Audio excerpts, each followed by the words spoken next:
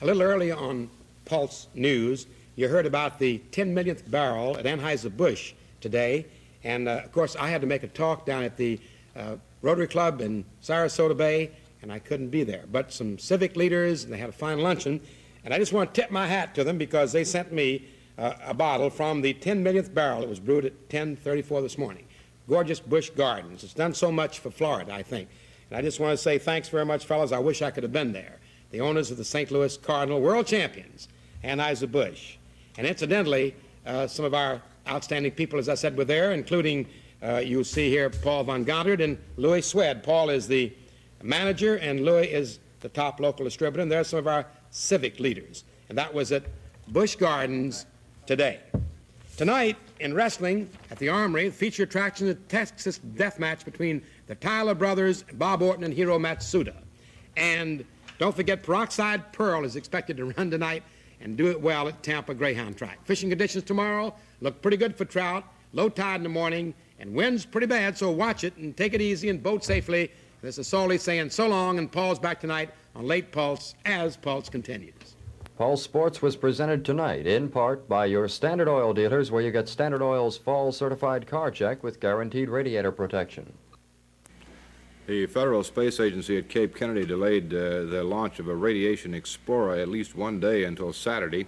This will be the last satellite launch of this year. The 101-pound radiation detection spacecraft had been set for launch at 3.50 a.m. Friday, but troubles were with an igniter for the third stage of its Delta launch rocket caused a delay. Space Agency spokesman said the shot will be reset for Saturday if a new igniter arrives at the Cape in time. Just a moment, a late look at the weather with Roy Leep. One day, young Dennis Garcia of Fort Myers had some chores to do. His sister Linda was helping. Hey, Linda, the fire's going out. I know. This'll fix it. Suddenly, Dennis's ordinary day exploded. The gas can became a blistering, blackening flamethrower. Dennis had weeks, 61 long days and nights of slow healing in the hospital. And his legs needed extensive skin grafting operations. But thankfully, Dennis is all better now. Right, Mr. Garcia? Oh, sure. He's like new now. And thanks to Blue Cross and Blue Shield, so am I. Mm-hmm.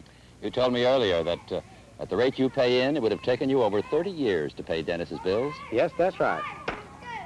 To save your family from today's mounting medical bills, remember the Garcias and the realistic protection of today's Blue Cross Blue Shield.